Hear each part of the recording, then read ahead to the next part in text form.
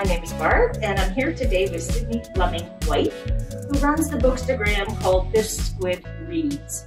For those of you who are not familiar with the term um, bookstagram, it is an Instagram account dedicated to books and usually includes photos and book reviews. So, welcome, Sydney. Oh, thanks. To begin, I would like to ask how did you come up with the unique name for your bookstagram?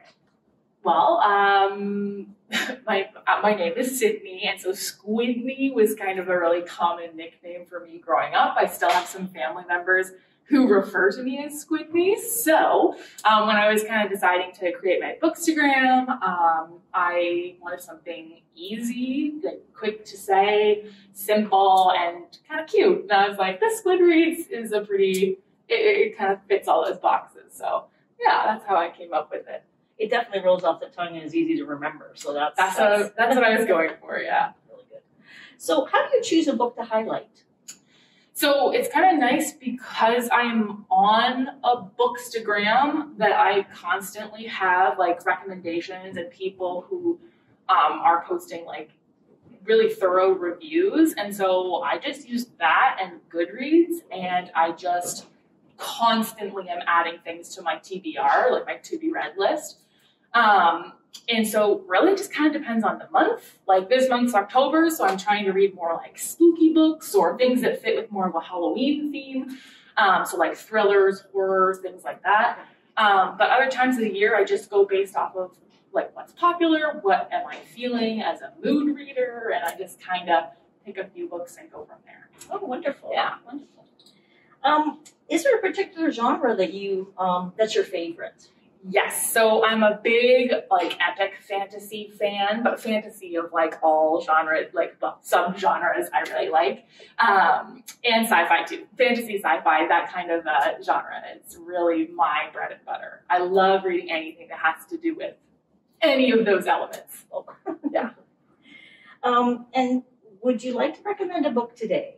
Yes, so um, because kind of fantasy, sci-fi are my favorite uh, genres, I brought a couple books. So the first one is The Way of Kings by Brandon Sanderson. So it, it is a big book, but don't let that you know startle anybody because uh, it, this is some of the easiest to read just because it's such an incredible series.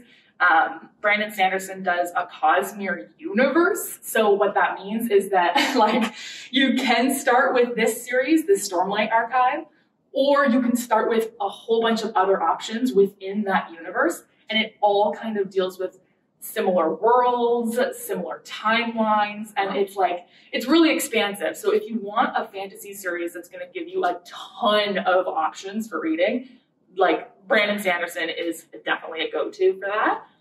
Um, I also brought, just in case people didn't like the size of that one, I did bring Fuzzy Nation by John Scalzi. He's one of my favorite sci-fi authors. Um, he is so funny. His stuff, his, his work is so easy to read. Um, and this book in particular is based off of like uh, a, a, an older book called Fuzzy Nations. I don't know if you're familiar with it.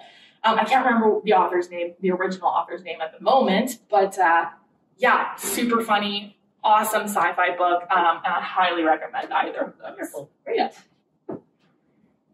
Yeah. Yeah. Sounds wonderful. And what advice would you give anyone who's interested in starting a bookstagram? So my piece of advice would be just to do it. um, I kind of did it on a whim. Like it was COVID. There was a I think it was during one of the first lockdowns, and I was like, "Oh my god, like I'm so bored." um, and so I, you know, I was reading a lot already at the time, but I kind of wanted more people to talk to about books, and I didn't have that community already. So I just was kind of scrolling, and I realized there's like a whole pocket within Instagram of readers. And so when I saw that, I was like, "What a cool way to just like I get to take." Pictures of these books. I get to interact with all these readers.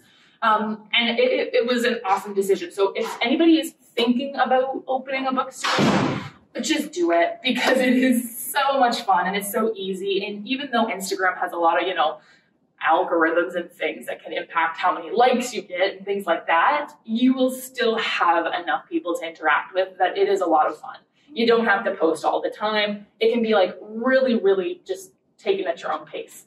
So yeah, if anybody's thinking about it, I would highly recommend just jumping right in and, and just seeing if you like it. It sounds like it's a, uh, a bit like having a gigantic book club. It, it is. It is. Yeah, and a lot of people within like um, like when you kind of start posting and start interacting with other you, like uh, other Instagrammers, like you can kind of make those little book clubs too, Right. and find people who like similar genres and things like that.